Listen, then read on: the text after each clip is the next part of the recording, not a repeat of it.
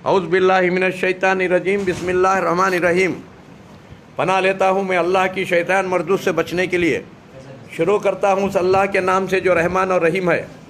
भाइयों, दोस्तों, बुज़ुर्गों, नौजवान साथियों, प्यारे माँ बहनों, देखो ये नौजवान बच्ची को पंद्रह साल से इंसुलेंस से दे रही अल्लाह का लाख लाख शुक्र, बचको है अब तक इन्हें जहारले को भी। अब ये इंसुलेंस से इसे तल्लाक होना तो मैं बोले सर का कर लियो, ऐसे कितने मेरे माँ बना ले रही। ऐसा कितने मेरे बुज़ुर्ग का ले रही सब बच जाती। क्या ट्रीटमेंट कर दो? खाने से पहले शाम को करेले का जूस पीना गर्म पानी में ग्राइंडर में दाल को मार को पी लो गर्म पानी में। ये करेला दाल को, कटकर को, गर्म कर गर्म पानी दाल को मार को जूस पिला लो।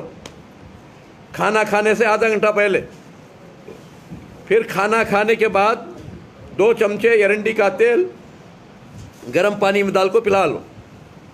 और दो चमचे जो, दो टी स्पून कलौजी, पाव टी स्पून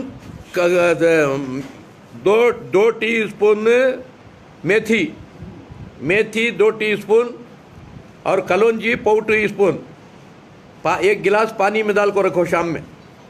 सुबह में उठ को वो मेथी कलौजी खा जाओ, वो पानी पी जाओ, उसके ऊपर दो गिलास गर्म पानी पिलाना। थोड़ा नींबू, थोड़ी हल्दी थोड़ा काला नमक और थोड़ा शहद। दाल को दो गिलास गर्म पानी पिलाना। कब? कलौंजी मेथी खिलाने के बाद। ऐसा तीन महीने करना। लगातार। डरना नहीं। जो डर गया, वो मर गया। बात समझ, गब्बर सिंह बोल गया। डरना नहीं। तीन महीने खिलाना। तीन महीने के बाद पंद्रह दिन कलौंजी मेथी खिलाना, पंद्रह दिन छोड़ देना। पंद्रह दिन भेंडिया, तीन भेंडिया रात को, एक गिलास गर्म पानी में डाल को रखना और सुबह को उठ को किविंच को, उसके छिलके, उसके बीज हम फेंक को पानी पी लेना।